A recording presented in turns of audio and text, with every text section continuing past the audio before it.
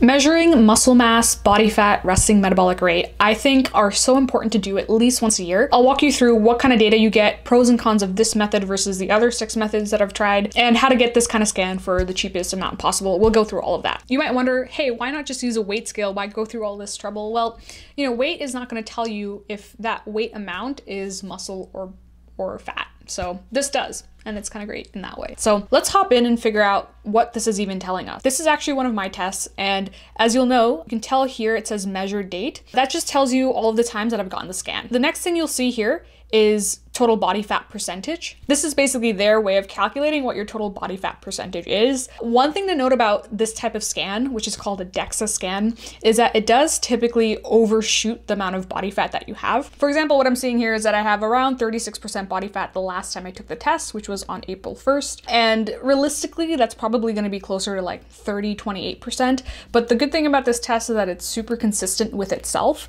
So, you know, I don't really care too much about what the numbers say. Care more about what is my progression over time. Basically, don't get too worried if your numbers are reading kind of high here. So one good way to test this is to actually go to your web browser and look up body fat photos uh, for either a woman or a man.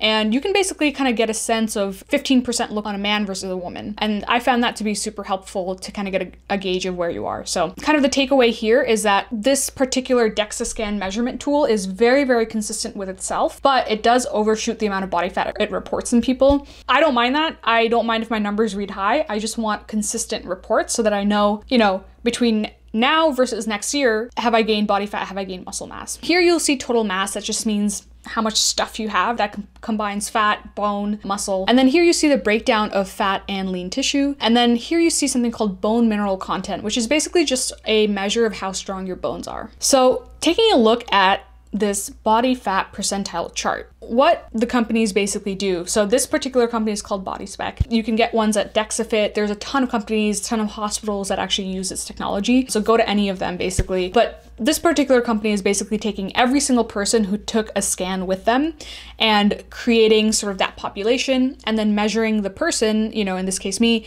against that population. So just one thing to note there is that you know, the people who are getting these scans are going to be kind of fitness minded. They're going to be, you know, they're going to care about being healthy. So this is actually going to be a sort of population that is going to be more fit than average. So you're going to score a little bit lower on this chart than quote unquote average. But that's probably the comparison group that you want to kind of be holding yourself against. So this is the part where things could get a little confusing, but you'll notice here that you have this picture of a person and the white is obviously bone, the green is the muscle that sits around the bone, and the red is basically the fat. And this kind of makes sense in the photo. You can see the fat is outlining the hips and the arms, you know, makes sense. So here you can see what's called this regional assessment. And a regional assessment is basically going to take the parts of your body and break down the amount of fat that you have and the amount of muscle that you have. So let's take a look and see what this is. So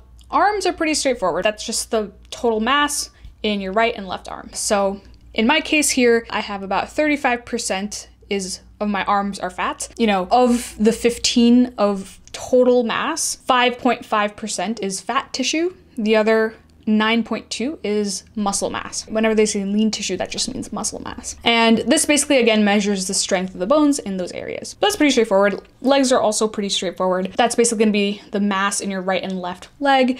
One thing to note is that it does not include your glutes. So it does not include this little V shape here that you see. That is not included. It's really just your, you know, left leg right here, right leg right there. You know, the rest of this is read the exact same way. So again, for me, it's about 35.7% total mass, total pounds of legs for me is 47 pounds, and that breaks down into 17 pounds of fat tissue. That, that sounds like a lot as I'm saying it, uh, and 28 pounds of muscle.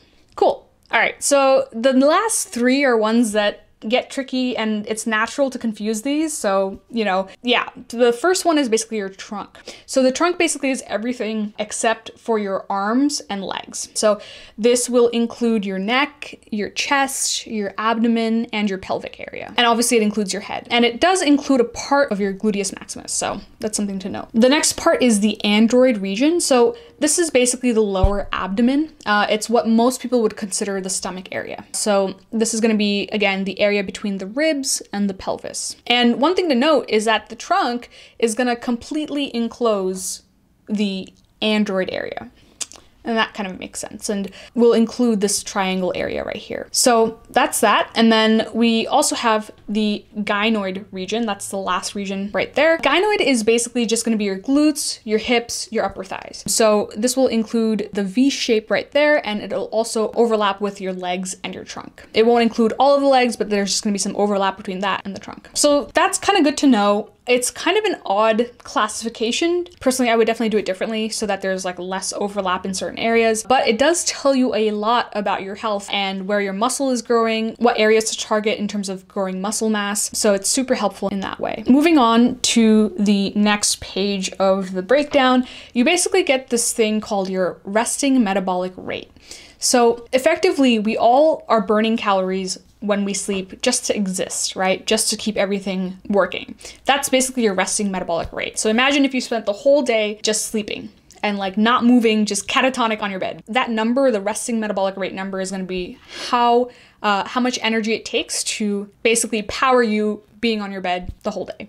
So for me, you can you can kind of tell that this varies a tiny bit, not too much actually, with my muscle mass and my fat mass. One thing to note with this is that this is just how much energy it takes to power you when you're asleep, but most of the day we're out and about, we're walking, we're doing things, we're talking. So what you typically want to do is add 20% to your listed resting metabolic rate, and that'll give you basically your maintenance rate, not including exercise. So if you are just pounding it at the gym, um, you know, obviously take that into account when you're trying to figure out how much to eat. Why this number is really helpful is if you follow and believe the calories in, calories out philosophy, which is a whole other topic because I don't necessarily agree with it fully, but if that is sort of your mechanism of losing weight or gaining muscle, the best thing to do here is to basically refer to your RMR to uh, figure out how much to eat to either maintain your weight or lose weight or gain weight. In this area right here, you basically see a kind of a repeat breakdown of your android and gynoid body fat percentage amounts. The reason they have that here is because it is very important that people's android percentage is less than the gynoid percentage. So this is basically called the AG ratio. And as you can tell here, it's basically on the border, right? It's right at one. So it should be basically 0.9 or 0.8 or something like that. I happen to carry all of my weight in my stomach. It's terrible. Uh, it's, you know, there's actually a ton of cardiovascular metabolic markers that come with carrying weight in your stomach. So this is actually a really great reminder to me that I need to work on that. So, this is important to look at your ratio and just make sure that you have less fat in your stomach than you do in your hips, thighs, and butts. Did I say butts? I mean, butt, singular butt. Uh, yes. okay, next up we have visceral tissue. So, this is basically a measure of fat under the muscle. The other type of fat is basically subcutaneous fat, which is just fat above the muscle. So, visceral fat is actually super important to keep in mind because it is actually much more dangerous than subcutaneous fat. Uh, and so, this basically gives you a breakdown of that in your body. So, as you can tell on the screen, visceral tissue. So, visceral fat is something that's associated with a number of metabolic diseases. So, from obesity, diabetes, insulin resistance. So, this number is really important. So, typically, you want to keep this VAT number below one and ideally as low as possible. And then there's the bone report, which basically just tells you how strong your bones are. A lot of this is sort of genetic. You can also strengthen it by doing strength training. Basically, what you do is you look at your total percentage here. I see it's 1.7 and you can basically check out this comparison to the population. So a score of 1.7 means that your bone density or bone strength is basically greater than 93 to 97% of the population. So you have pretty strong bones. So that's that. Kind of cool to know, especially if you're kind of older. Older women, for example, are susceptible to osteoporosis. So they would obviously have lower numbers in, in this kind of measurement. Finally, at the bottom here, you have muscle balance report. So this basically tells you how much muscle and how much fat do you have in your right or left So I, for example, when I was younger, I used to work in an ice cream shop and my right arm was just ripped beyond belief because I would be scooping these like heavy, hard ice creams out. Uh, and then my left arm was just weak, you know? so, you know, this is something that's important if you do a one sided, you know, fitness activity. So, pole vaulting or golf, you know, anything that is like, you know, significantly strengthens one side of your body.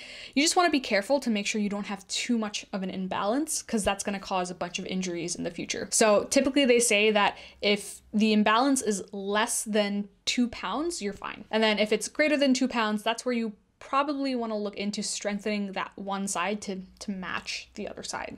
So here you can tell if we look at, let's say, right arm and left arm. So in terms of the total muscle between them, they're actually pretty similar. They're exactly the same. So there's really nothing to worry about there. Right leg versus left leg. It looks like my left leg has one pound of more muscle than my right leg. Good to know. So again, one pound, not really anything to worry about two pounds is kind of where you start to consider strengthening the other side. More data. Okay, so this is actually really cool. So what this shows you is every time that you've taken the test, it'll show you what the change has been. And this will go back to the first test that you've taken. For example, for me, you can see I've taken four tests and it shows the kind of overall trend lines. So you can see the measured changes in terms of numbers. So from the last time that I took the test right here, change versus previous, I've lost two pounds of fat in my arms. And the change from the baseline just refers to the first time that you took the test right here. Uh, for me, it was June 5th, 2019. It looks like I had 4.7 pounds of fat versus now I have 5.5 pounds of fat, so I've gained 0.8 pounds. So it just basically does this analysis for every part of your body. So you can tell here my arm fat has gone up in general from my baseline, but it's gone down recently. Legs also has gone up in terms of fat. Trunk, same as well. I'm just getting fat, like that's the TLDR here. um, Android uh, went down for a little bit. This is again the stomach area, basically lower abdomen. Gynoid area, this is hip, butt, thighs. And here you can tell also gone up. uh, so here you can tell that just in general, my total body fat has gone up. And then you get the same breakdown for your lean tissue, which again is amazing, right? Because sometimes you see the weight scale go up, but you don't know if, hey, is that muscle mass? Is that body fat? Is it a bit of both? And for me, it actually ended up being a bit of both. So here you can see my arm muscle, lean tissue, has gone up, which is great. And you can see exactly how much at which points. Leg muscle has also gone up. And then here you see the trunk area. Uh, so this is basically your back, uh, chest, stomach. So here I have lost muscle. So my, you know, whatever, back, upper abdomen, all that is getting weak, it seems. And then here, Android as well has gone down in muscle. So my abs are getting weak.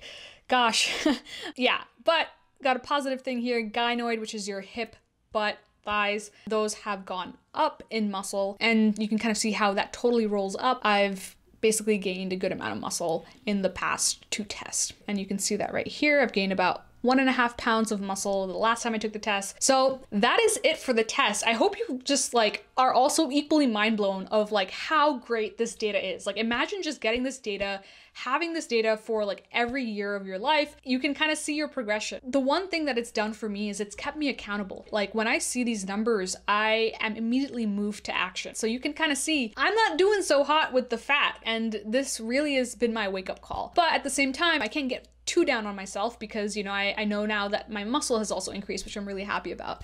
I cannot emphasize enough how important i think it is to get these numbers about yourself regularly. The cost of this is basically 30 bucks which is nothing for the amazing amount of information that you get. That being said there are a bunch of other ways that i've tried to measure body fat. I've also gotten body fat measured by body calipers. If you've ever seen something like this where you basically have this sort of measurement device there are pros and cons. What i don't like about that machine or that method method is that it really depends on how good the person who's measuring it is. And if they are inaccurate or if they take it in the different spot than what they did before, your numbers are going to be off. And, you know, it's hard to make sure that you get the same person doing it correctly over and over again. So that's that. The other problem also is it does not measure muscle mass. But that being said, it's super cheap and you can kind of probably learn how to do it for yourself as kind of an at home method. Another way of kind of measuring this, and this is probably the simplest way if you don't want to pay for any of this and you don't want in depth data, you just want you know, a ballpark way of, of figuring things out. You know, the best simplest way is to just basically measure yourself in all kind of regions of your body and take a bunch of photos, like before and after photos. So I actually also do this. um, I'm kind of a data nerd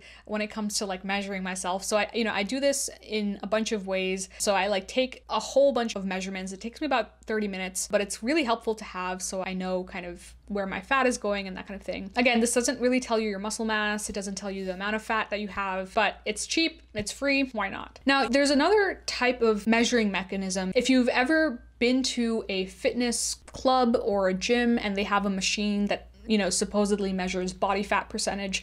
What those devices are doing is using a method called bioelectrical impedance. And what that does is it basically sends a sort of small electrical impulse through your body and is supposed to measure your body fat percentage from that. I actually have one of those devices at home. It's like a small at home device. And I have a link to the version that I have in the comments section if you're curious about that. What I will say is that it's not always the most accurate, but again, it's good for a cheap ballpark method. The device costs about $26, so I just bought one and I just use it every time I do one of these measurements. So again, if you want like a simple, cheap, easy way to just do it regularly, that's the way to go. And you know, your local fitness club or gym might have one of these devices that you stand on and then they tell you your body fat percentage just know that those are actually like pretty inaccurate and inconsistent often. I've never had good luck with those to be honest. So if you want an actual accurate across multiple tests way, I wouldn't recommend that. Another way that I've gotten it done as well is basically hydrostatic dunk tests. So what this is, is basically they stick you in water and you basically blow out all of the air in your lungs